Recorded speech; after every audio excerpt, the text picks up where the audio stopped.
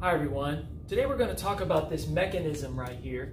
Kind of a lengthy, wordy uh, mechanism called the renin-angiotensin-aldosterone mechanism. Okay, where does this mechanism occur? This is going to be in the kidney, okay?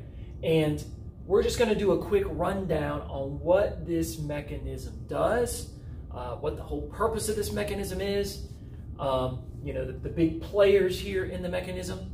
And we're just going to do a quick little flow chart to show it.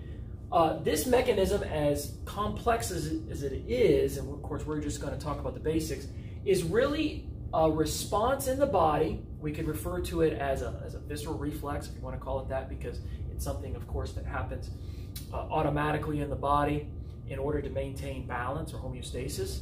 We could also call it a negative feedback mechanism because, again, we're having an imbalance in the body that, that is then being corrected by the body. So we could call this mechanism uh, different things, but basically what's happening is we are getting a drop in blood pressure, and that is triggering this mechanism. So this mechanism, again, triggered by a drop in blood pressure.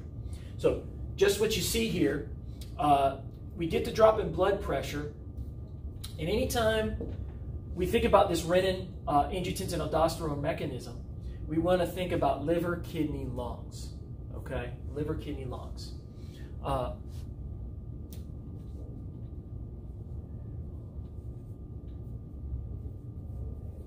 so I'm just going to write right here, liver, kidney, lungs, so we know uh, the organs of importance here. Okay, so what does the liver make? The liver makes something called angiotensin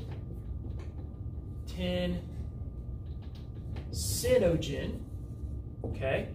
And what's going to happen is with this drop in blood pressure, okay, angiotensinogen from the liver will be converted to angiotensin 1, okay, in the kidney. Now, an enzyme is going to do that conversion. Our first uh, enzyme that you notice right here is renin. Okay? So renin is not a hormone, okay? It is an enzyme produced in the kidney. It's in uh, a part of the kidney uh, that's involved in autoregulation called the JG apparatus. It's actually produced by the JG cells of the JG apparatus. It's the juxtaglomerular apparatus, okay? So that's those specialized cells produce renin, okay, that allows this conversion to take place.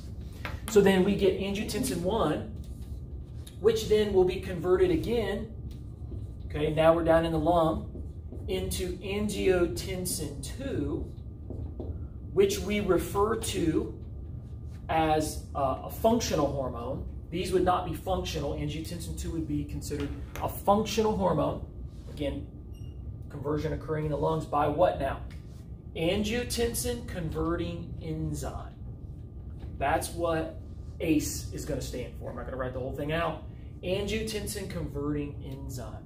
Now, it's commonly called ACE. Why does it call it ACE? If you ever heard of that class of drugs called ACE inhibitors, they're blood pressure lowering drugs. Okay, what do they do? They block this enzyme, which allows, or basically doesn't allow, this conversion to angiotensin 2 to take place. So again, what, what do those drugs do then? They lower a person's blood pressure. Because you can see where we're going with this thing, right? Angiotensin 2 is going to then stimulate the release.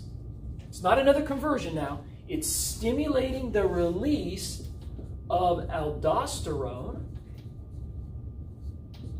which happens to be, in case you want to know where aldosterone is located, it's located in the adrenal cortex, okay, in the adrenal glands.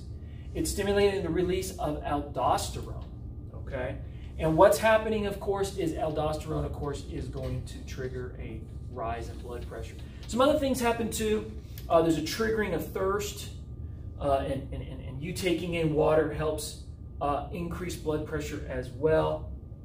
Obviously, that would be uh, secondary, but it does it does happen. It, it uh, triggers thirst in the hypothalamus. But the big thing that aldosterone is going to do then is raise blood pressure. So this is a, elaborate mechanism that takes place anytime you have a drop in blood pressure. Okay, it does not happen the other way around, only drop in blood pressure. And that's why you can notice we can call this either a visceral reflex or negative feedback mechanism. But this is our renin angiotensin, uh, again, aldosterone mechanism. So hope it helps and uh, watch for more videos. Good luck and good study.